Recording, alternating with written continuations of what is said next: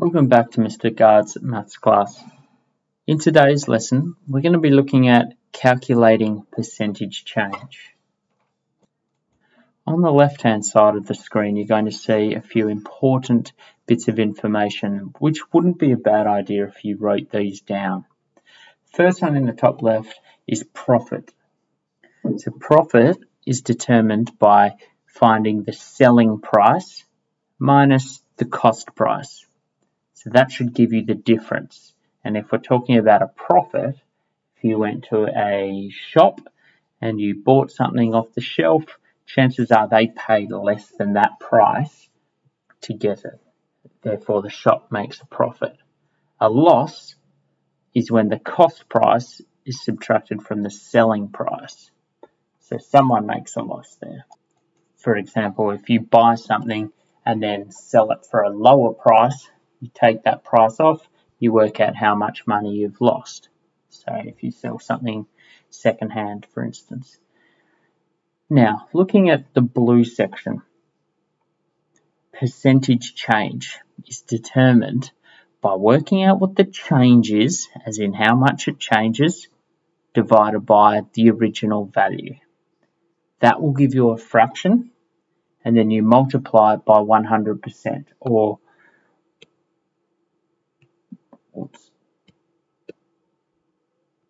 100 over 1. Although that didn't quite come out as I might say. Percentage profit in green is the profit amount, so how much money you make, divided by its original value, again multiplied by 100. And percentage loss in red is the loss amount divided by the original value. So you can see in all three, the blue one effectively is the same as the green and the red. The green is just about how much money you make, the red is about how much money you lose, but overarching is the blue one, the change divided by the original value. So if we have a look at the example over in the green, if $90 becomes $135, what is the percentage change or the profit? So, according to our formula before, the percentage change is the change, which is 135 minus 90, which equals $45. So the change is $45, or we can use it in the profit formula and say the profit is 45 divided by the original value, which is 90. We multiply that by 100. I know that 45 divided by 90 is a half times 100 equals 100 divided by 2, which is 50%. So the profit as a percentage is 50%. For this next example in red, what is the percentage loss if your car reduces from $5,920 to $3,000? Again, the key here is to work out what the loss is. So we need to go 5,920 minus 3,000. That will give us $2,920 that's our loss. What that is is a percentage. We need to go the loss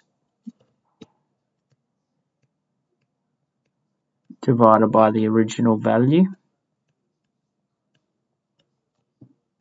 multiplied by 100. So let's see if we can simplify some of this first of all. Let's cancel those out. Speed up the process, 292 divided by 592 is actually 0.49324 recurring.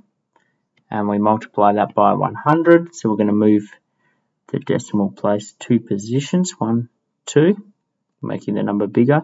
So we should get 49.324. That bit recurs, but I'm going to, yeah, then that is our percentage decrease. So it's nearly halved because it was nearly 6,000 minus 3 down to 3,000. So if we wanted to just round it, we would write it as 49%.